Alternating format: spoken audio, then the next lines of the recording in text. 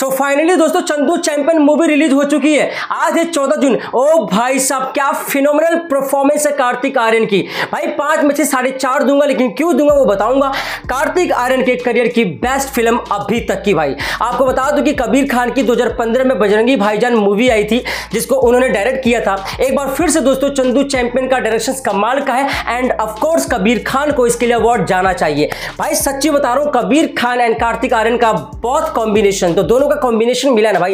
ये फ़िल्म वाकई में बेहद ही लाजवाब है। Murlikant Petkar the first Indian Paralympic gold medalist जिनकी जर्नी दोस्तों दिखाई गई है, कैसे संघर्षों का सामना किया और अपने सपनों की उड़ान को कभी झुकने नहीं दिया। मैं सलाम करता हूँ मुरलीकांत पेटकर जी को। मैं सलाम करता हूँ कार्तिक आर्यन कबीर खान जी को, जिन्होंने ऐसी फ़िल्मों को लाकर ना ही कहीं दोस्तों देश को ऑफकोर्स देशभक्ति को बढ़ाया एक पेट्रोटिज्म की भावना को बढ़ाया है। साथ ही साथ पब्लिक के जो रिस्पॉन्स एंड रिव्यू आ रहे हैं एंड पब्लिक जो कहीं ना कहीं हताश हो जाती है ज़िंदगी के संघर्षों को देखकर। भाई अगर आप डिमोटिवेट होते हो ज़िंदगी में तो ये मूवी देखो क्योंकि ये मूवी फिर आपके लिए है। अगर आप लाइफ से डिमोटिवेट हो अगर आपके अंदर मोटिवेशन खत्म हो चुका है आप जो है कहीं ना कहीं ये फील करते हो कि यार आ, बहुत स्ट्रगल्स है। तो ये मूवी फिर आप देखो क्योंकि इसमें कार्तिक आर्यन का जो बेस्ट एक्टिंग है जो कार्तिक आर्यन का जो जर्नी है जो फिनोनिमल एक क्या बोलते हैं फ़िज़िकल ट्रांसफॉर्मेशन से which which it seems amazing and भाई साहब, आप थिएटर तक पक्का आ जाओगे।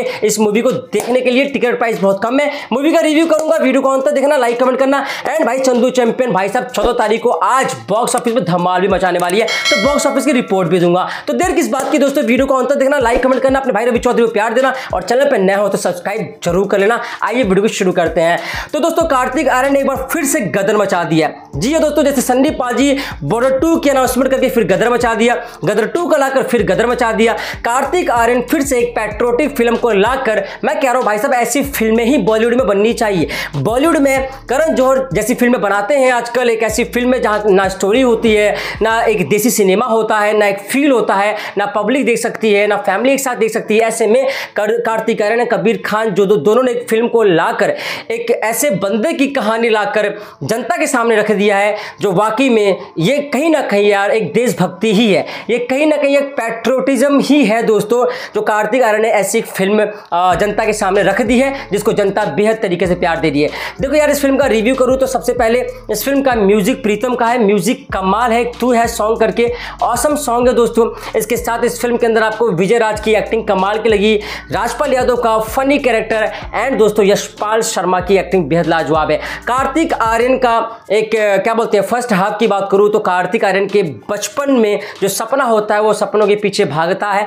एंड उससे फ़र्स्ट हाफ़ के अंदर दोस्तों को बता दूँ कि जो चाइल्डहुड होती है journey basically from childhood journey to military services का जो एक सफ़र दिखा रखा है, वो कमाल का है। आपको बता दूँ कि जो किड ने जो बचपन का रोल प्ले किया है किड ने, उसकी एक्टिंग लाजवाब है। साथ ही साथ दोस्तों चैंपियन जो है कभी हारता नहीं है और चैंपियन यहाँ से होता है बंदा।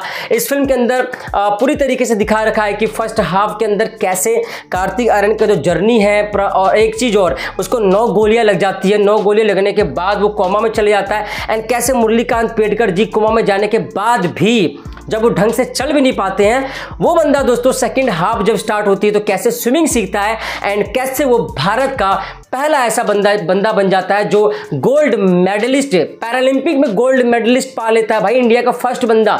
और जबकि उसके पैरों में चोट होती है, उसका जर्नी काफ़ी कठिन होता है मिलिट्री सर्विसेज़ से आर्मी से, फिर बॉक्सिंग बॉक्सिंग में जाना, फिर बॉक्सिंग से दोस्तों पैरालंपिक गोल्ड मेडलिस्ट हासिल करना। ये जर्नी बेहद ही औसम है, बेहद ही मोटिवेट करती है दोस्तों।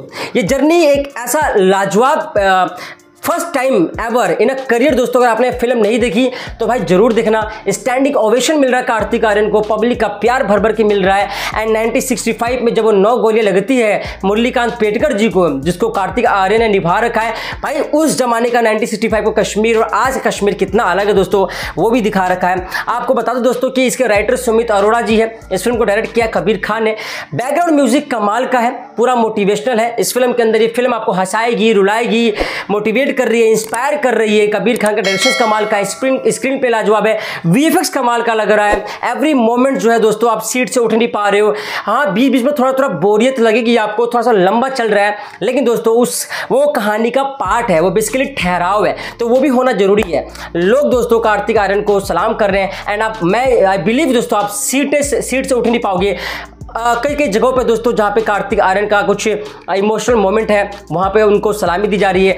कहानी का जो कुछ पार्ट स्टार्ट होता है 2017 से ही स्टार्ट हो पाता है, जहाँ पे मुरलीकांत पेटकर जी अपने अचीवमेंट के बारे में बता रहे होते हैं, अपने अर्जुना अवार्ड के बारे में बता रहे होते हैं, कैसे उनको राष्ट्रपति जी के द्वारा अर्जुना अवार्ड भी मिला जाता है। एंड इसमें एक सस्पेंस ये है कि अर्जुना अवार्ड के लिए तो उन्होंने खुद भी अपने फ़ाइल अपने नाम को नॉमिनेट नहीं किया। तो आखिर किसने किया अर्जुना अवार्ड के लिए उनके नाम को नॉमिनेट ये भी बताया गया है। तो बेहद ही रोमांचक है दोस्तों, बेहद ही रोमांचक के स्टोरी है। And definitely Sajid Nadiadwala सलाम करता हूँ कि ऐसी फ़िल्में लाकर ऑफकोर्स बॉलीवुड का कम से कम इज़्ज़त तो बचा रहे हैं यार ये लोग।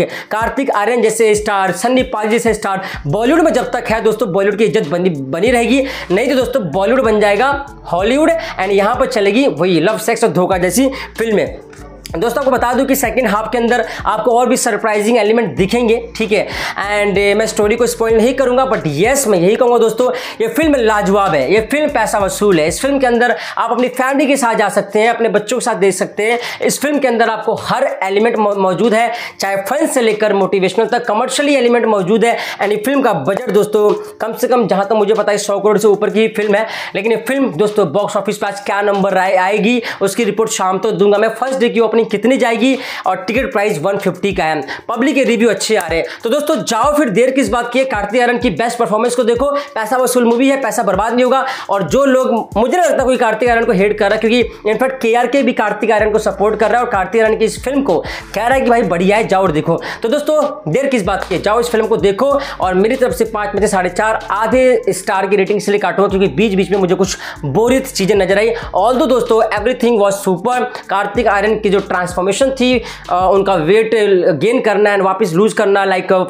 आमिर खान, दंगल। तो वेल दोस्तों, वो कहीं ना कहीं काफ़ी इंस्पायरिंग मोमेंट है। इसके अलावा कार्तिक आर्यन का जो मराठी एक्सेंट है, मराठी में डायलॉग डिलीवरी डिलीवरी करना, भाई, फ़िल्मों के अंदर बंदे की मेहनत दिखती है और कार्तिक आर्यन की मेहनत दिखती है। और उस मेहनत के लिए इस फ़िल्म को, दोस्तों, देखने जाओ फ़िल्म कमाल की है। बॉक्स ऑफ़िस फाड़ देगी। देर किस बात की है? कमेंट करो दोस्तों, कार्तिक आर्यन की फ़िल्म को आपने देखा?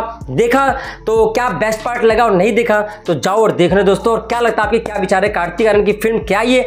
लगभग लगभग ढाई करोड़ के क्लब में शामिल हो पाएगी या पाँच करोड़ भी पार कर सकती है? कमेंट करो। मिलते हैं नेक्स्ट वीडियो में। Love you take care bye दोस्तों। जय हिंद, जय भारत। और जय हिंदुस्तान करके कमेंट हर कोई लिखेगा।